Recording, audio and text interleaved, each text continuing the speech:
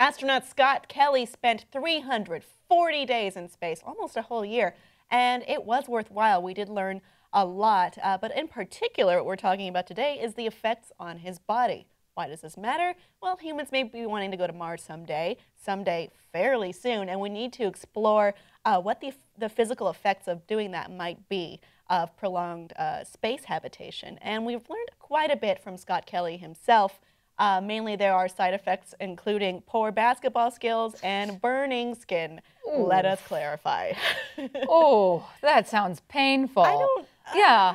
Well, I know. So when, when you say burning skin, I immediately thought like, oh, he's going to be more sensitive to light. That makes sense. Not that, oh, when I sit in a chair for more than 10 minutes, suddenly everything around me hurts really I, bad. I understand what yeah. he means by burning. Burn, yeah. Is it like when you get, like your foot falls asleep mm-hmm. and you feel like pins and needles? Yeah. Is it physical warmth? Yeah. Is it is it or is it just like uh, you know? Again, I would think it would be more of a, a reaction to the world around you mm. and just the having all this solar energy. But no, it's it's. I think it's a little bit about just how your muscles have come to atrophy, especially with nearly a year in space. And mm-hmm. you know, think about it with um, you know people who have had to spend long times in the hospital uh, and and not being able to move, and especially now. Now these are people who have spent almost a year in gravity or anti-gravity. And mm-hmm. so they have no sense of being able to touch. So anything they touch it's going to become really sore and really sensitive. Mm-hmm. and so it's just it's going to feel like prickling and burning. Oh gosh. Oh that just sounds that sounds so miserable. I'm so sorry scott. He'll get used to it. He's he's a big tough guy. Uh, but yeah. he, let's see what he had to say about it in particular and you be the judge of what he means uh, well, if we did try basketball, and to that he said, I tried to shoot some basketballs yesterday, and I didn't get any of them in the net. Uh, not that I'm good at basketball in general, anyway. On my first flight, that was seven days. I had the tendency to want to let something go, but never again. But definitely throwing things, you tend to underestimate the effects of gravity. Yeah. You know, like Chris Hadfield might with a microphone.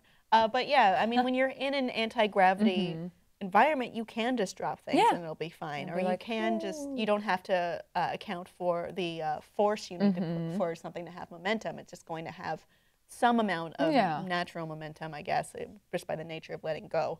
Um, and it's it's interesting to see how that happened.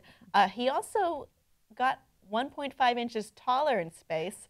Uh, we can attribute that to uh, the that, that's something that has been well, yeah. known about. That yeah. the vertebrae yeah, the will vertebrae. separate a little bit. I yeah. mean, when it's not carrying the weight of mm-hmm. a torso, that, that does make sense that it would just kind of yeah, it just it's just now. yeah the, the the lack of gravity allows it to expand, but then once um, astronauts return back to Earth, uh, our natural gravity reverts everything back to normal. So within a couple days, he had lost that height. So now he can't say that he's taller than his brother.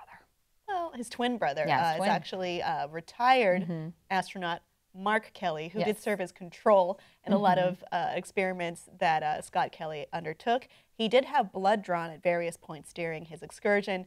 Uh, we do not have the results back on the blood tests, uh, and it said other bodily yeah. fluids. I don't know what they are. We'll find out later. Well, and I think the biggest thing that we're going to find out too is the effects, the long-term effects of being in space for a year and, and further because you know that amount of exposure to radiation mm-hmm. and um, other elements is going to you know is this is up just the beginning. Yeah, this is only the beginning because this opens the doors to how people are going to last in Mars. Mm-hmm. So we also had. Uh, uh, other experiments conducted to look at eye health. Mm. Uh, we know we need to have a lot of fluids in yeah. our eyes in a specific way. How is that affected by anti gravity? Uh, fluid distribution, uh, psychology, other physical and emotional yeah. indicators. Ooh. Um, it takes a very special person to be an astronaut. Yeah. You've got to have the right stuff.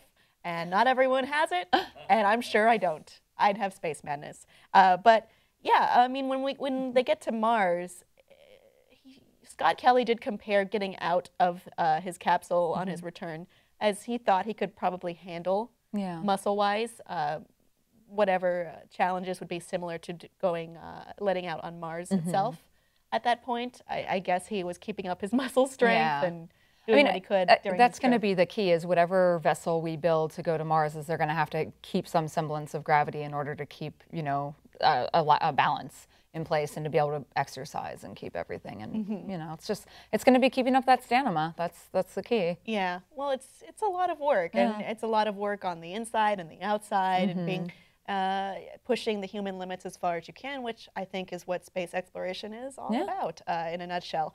Audience, what do you think of Scott Kelly's excursion and the viability of humans on Mars? Uh, so far, looks all right. Let us know below in the comments and please like and subscribe for more.